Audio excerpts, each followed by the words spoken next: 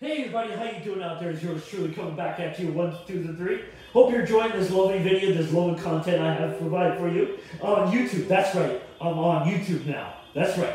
I'm doing a vlog video and I'm going to talk about a whole bunch of things, but one thing I have to talk about is a celebrity that passed away yesterday. She goes by the name of Living John.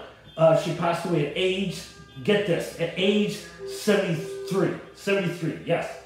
Folks, she passed away at age 73 due to cancer. Due to cancer.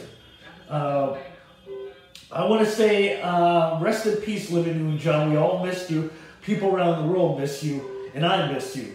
Uh, very much, I, we all miss you as a singer, as an actor, an actress, an activist. She was an activist, if you can believe that. She was an activist. I didn't realize she was an activist.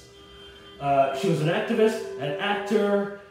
Uh, she did movie Grease and Two of a Kind. That was the second film she did, uh, called Two of a Kind. That came around about 83 or 84. 1984 or 1983. So there you go, folks. I'll be talking about that in about a few more minutes, all right?